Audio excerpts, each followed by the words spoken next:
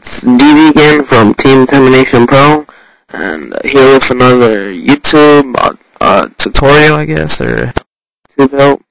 I'm gonna be showing you guys how to put a clickable link, so that way when people click on it, it sent, takes them to a link.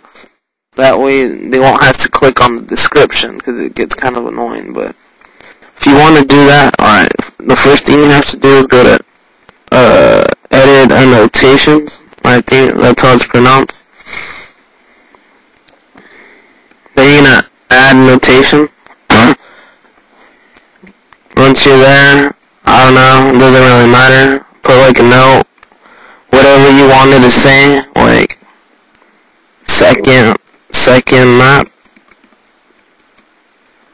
And then if you want to put the clickable link, all you gotta do is click on this, put put whatever it is or channel or whatever you want, and yeah, just put the link in it. So that's all you gotta do. And I hope it helped you guys, but yeah, please subscribe and like if it helped you.